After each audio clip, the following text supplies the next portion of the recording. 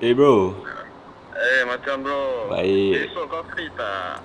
Free free. Aku ada slot Kuala Empat. Boleh tak?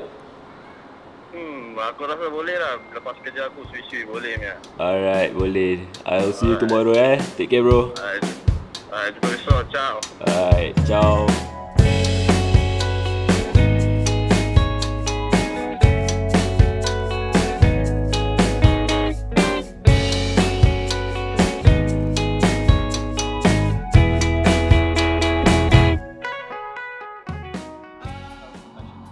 My name is Syabil. I'm 20 years old and currently I'm a freelance barber.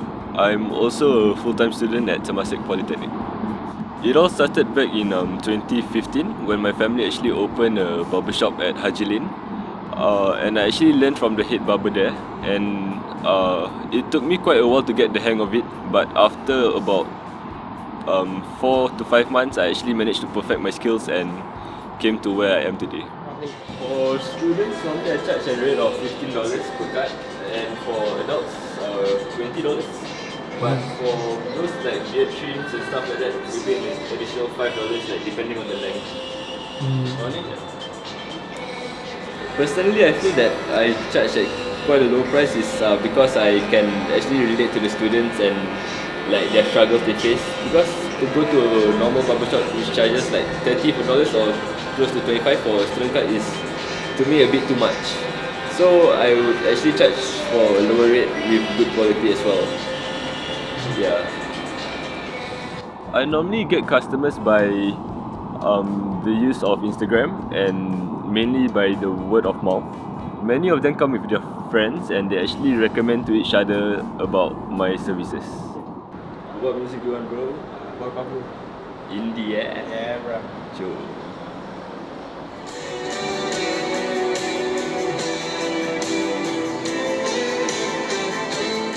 Different people have like different types of personalities, right? So there are some people who are more shy to open up, and there are others who are like really uh, extroverts. But I would say that most of them that come here are like really easy to talk to and like easygoing. So we'll just talk about like anything and everything that we like find in common or like about just about life. Uh. It's So like really like a heart to heart talk kind of. Some of the issues that I would like to highlight is that um, on certain days, especially on the weekends, I can get as many as 16 customers a day. They should actually last from morning till like late in the AMs, like maybe 1 or 2 AM. So I wouldn't actually have to have a proper time to actually uh, get a proper meal. So I just have like quick bites here and there, which is actually really tiring for me. But I mean, it's my profession and I love what I'm doing. So it's the sacrifices that I make to actually um, succeed in what I'm actually pursuing.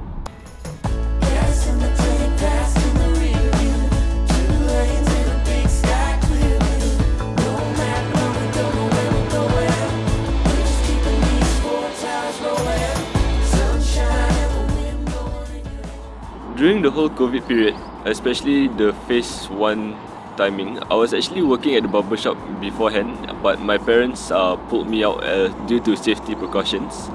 They didn't want me to like be in close contact with anyone else uh, due to the whole COVID situation. So I actually stopped until phase two, and that's when I actually decided to open up a home-based barber shop where I could actually cut uh, for my friends and like even people that I don't know of and it's actually much more convenient for me as it's just outside my doorstep. in, uh, in 10 years, um, hopefully I'll open my own shop and from there open like different franchises and uh, like around Singapore and that's actually the bigger plan. I feel as though like I'll get more comfortable with my customers because it's sort of behind closed doors in the sense that there's no one except for me and my customers when I'm cutting their hair. As compared to a barber shop, there's like other barbers and other customers, so they won't feel as open to talk when you compare it to like me cutting at home.